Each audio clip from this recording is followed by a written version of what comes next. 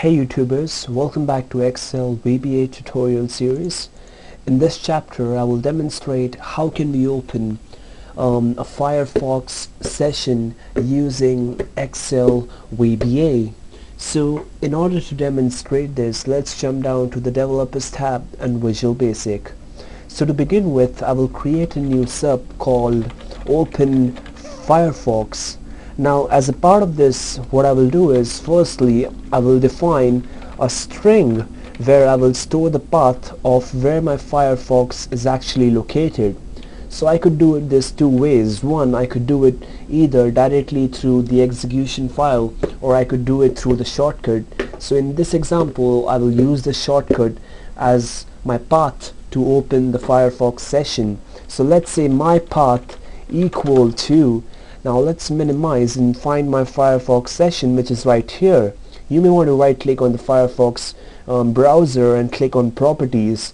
You may want to jump down to general. In general you will get the path of the directory where the file is stored and the second half to it will be the name of um, that particular file and finally you may want to copy the extension which in this case is .lnk since it's a shortcut file so um, this is pretty much it. This is the part that we are looking at in order to open the Firefox session using Excel VBA now finally in order to achieve our purpose of opening this file what we will use is we will use an active workbook dot follow hyperlink method what this does is um, we will assign my path to this method. My path is none other than what you've specified over here the path where your Firefox shortcut is stored.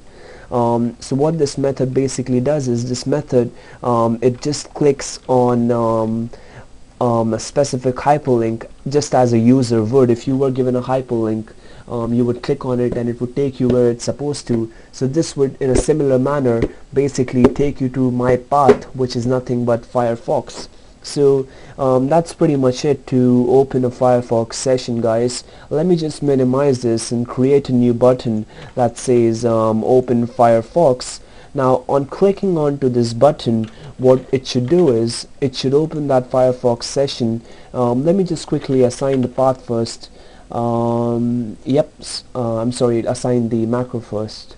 Okay so I've assigned it now. Now I'll click on this button and um, it gives me a prompt whether would I like to continue. It gives me a second one. I just click on OK and what this should do is this should open up the Firefox session for me which as we can see on my screen right here and this should pretty much serve the purpose. So guys that's pretty much it um, as to how we can open um, a Firefox session using Excel VBA so thanks for watching guys. Hope the video was helpful and please stay tuned for more. You take care. Bye bye